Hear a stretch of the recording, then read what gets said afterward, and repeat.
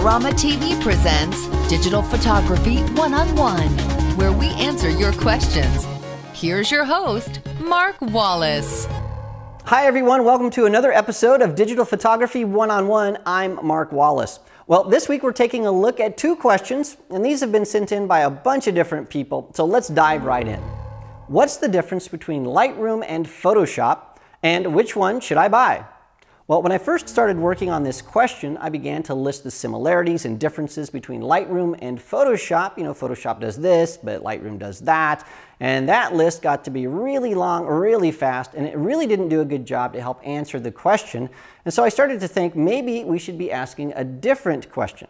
I mean, just think about Photoshop. It's this amazing application that allows you to edit photos. You can make tonal changes and fix colors and retouch skin, remove dust spots, output images for the web and video, and a lot more. And I mean a lot more. You can perform advanced 3D editing and use it for painting and drawing and creating animation and doing special effects in videos and performing quantitative analysis on medical and other scientific images. And that's just scratching the surface.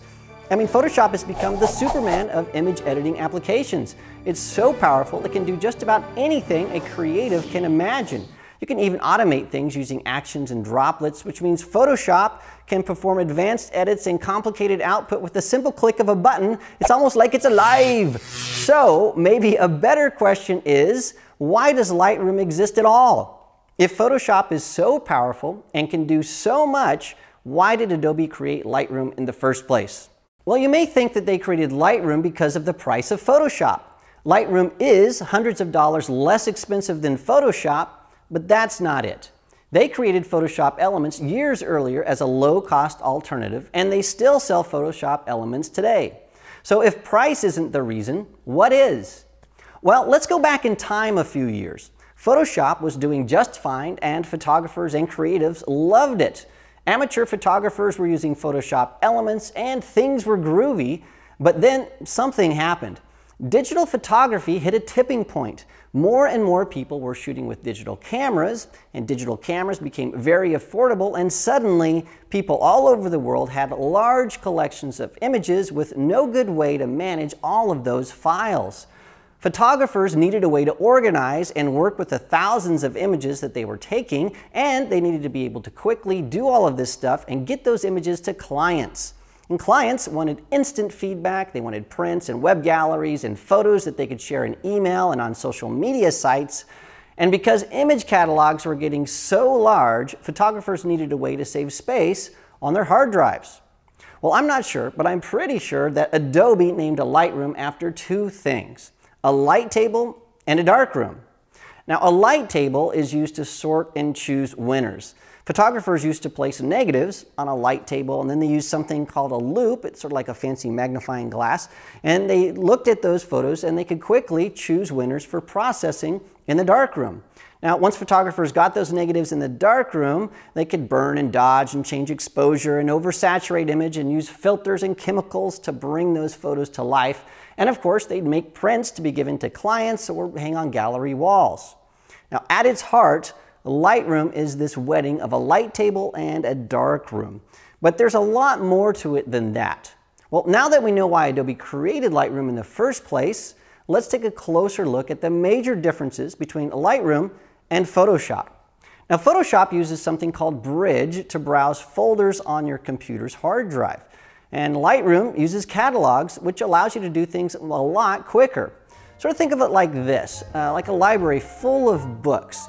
Imagine you wanted to find one specific book in this huge library and there was no card catalog or Dewey Decimal System. You'd have to physically look at each book one by one until you found the book you were looking for. You'd be browsing those books.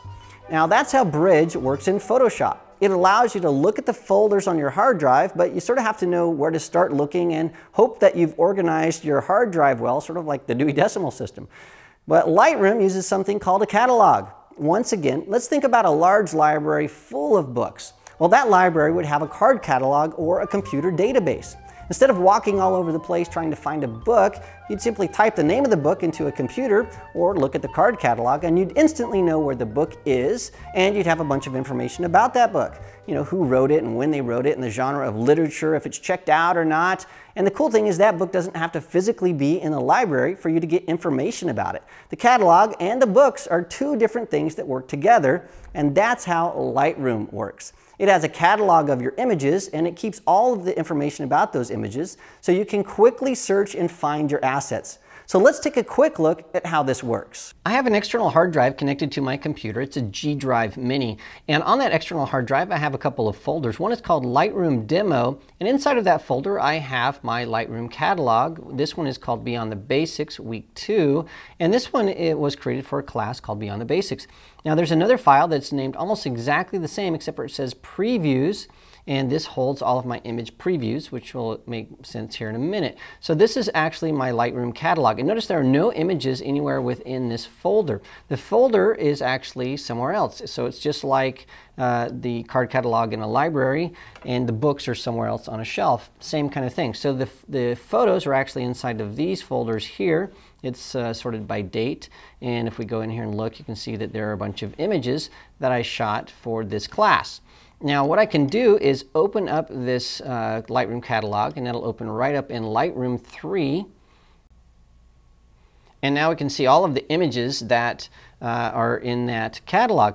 Now the neat thing is these are actually the previews of the images and so if I uh, had to disconnect the images or I moved that folder away or something they'd still show up here in my Lightroom catalog and I could look at them and then I could later connect those again. So it's basically like if a book moved to a different branch of a library it would still be in the card catalog and later you'd bring it back in and say here's where it is. So it's really nice the photos and the actual photos on the hard drive are not connected which is, takes a little while to get used to but it's a much faster way of working because you're keeping much smaller sizes. The other thing that's really interesting with these files here if I go in to this I can go into some different modules here. So there's the library, the develop slideshow print and web module, and they each do different things. In the library module, I can add some things to our photo here, and it's called metadata. It's information that describes something else. So if this was a book in a card catalog, the metadata would be the author and the genre and you know uh, when it was written, things like that for a photo, that metadata are maybe keyword tags. It has um, some things that I've added automatically like the file type and where it's stored and what the dimensions are and when the original was taken and the exposure and the ISO and who uh, created this, what lens was used, and that goes on and on. There's all kinds of information here I, I can actually add.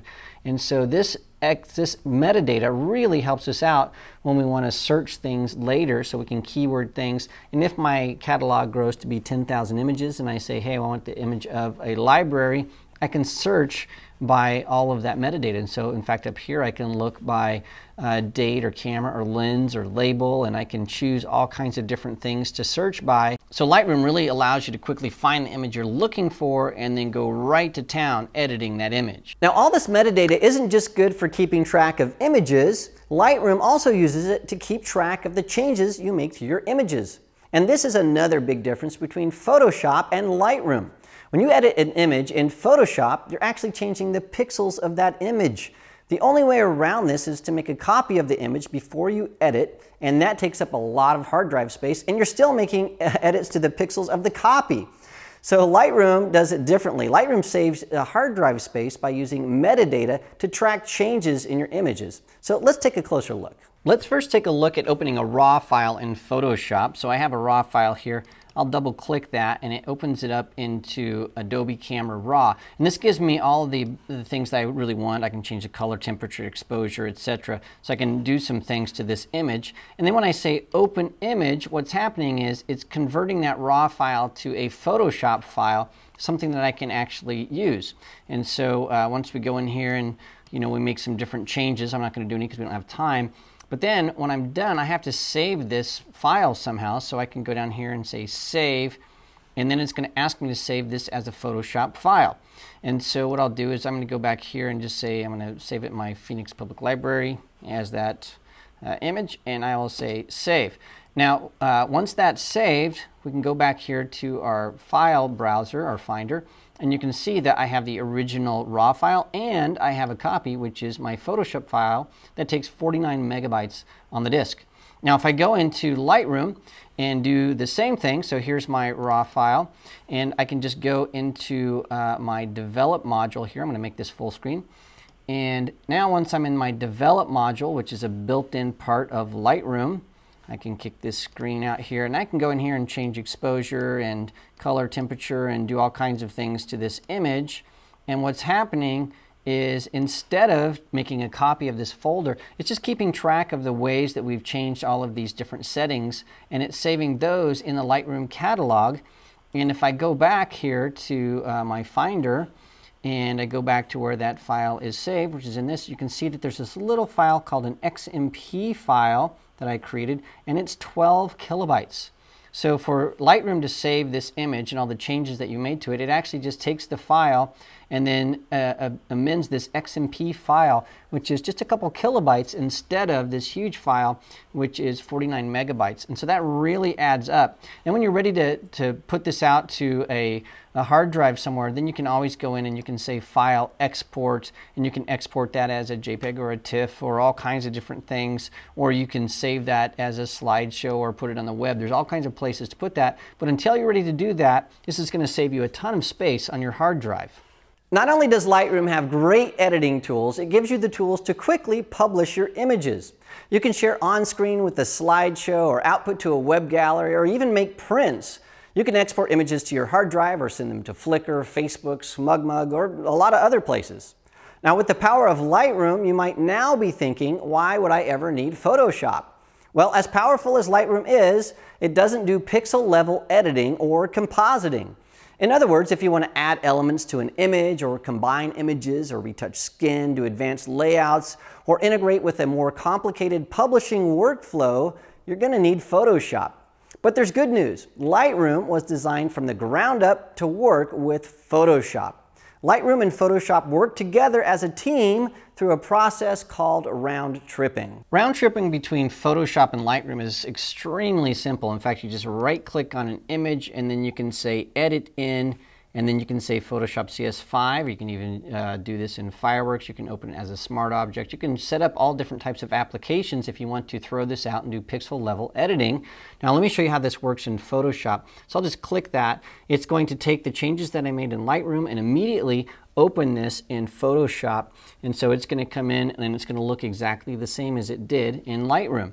And so I want to make this full screen again. Now, if I go in here and make some changes to this, so, you know, we'll just do a, a really quick uh, filter here. We'll just liquefy this really fast.